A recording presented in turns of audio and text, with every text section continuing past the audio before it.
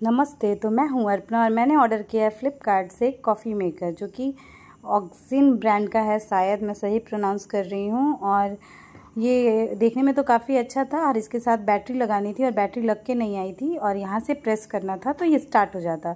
तो मैंने सोचा कि चलिए, ठीक है, इतने अच्छे दाम पर मिल भी रहा है, मैं प्राइस मेंशन कर दूँगी स्क्रीन पे। तो मैंने इसमें दो बैटरी पहले ही डाल के चेक कर लिया था और उसके बाद मैं सोची कि मैं इसमें कॉफ़ी बना के देखूँगी। शाम और चाय लवर होते हुए भी मैंने सोचा कि आज कॉफ़ी मेकर आया तो पहले वही ट्राई करती हूँ। तो मैंने चीनी और चाय चीनी और कॉफ़ी ले लिया, उसमें गर्म पानी डालकर और बनाना शुरू किया। बनाते गई बनाते गई, पर ये तो फिटने का नाम ही नहीं ले रहा था कॉफ़ी, क्योंकि ये मशीन अच्छे से काम नहीं कर रही थी। तो आप भी इसको बिल्कुल ट्राई ना करें ये देखने में बहुत पोर्टेबल है, पर ये अच्छा काम नहीं कर रही है। सो ये तो फेल है, ये वाला तो आप ये मत मंगाएँ। So thank you for watching follow for more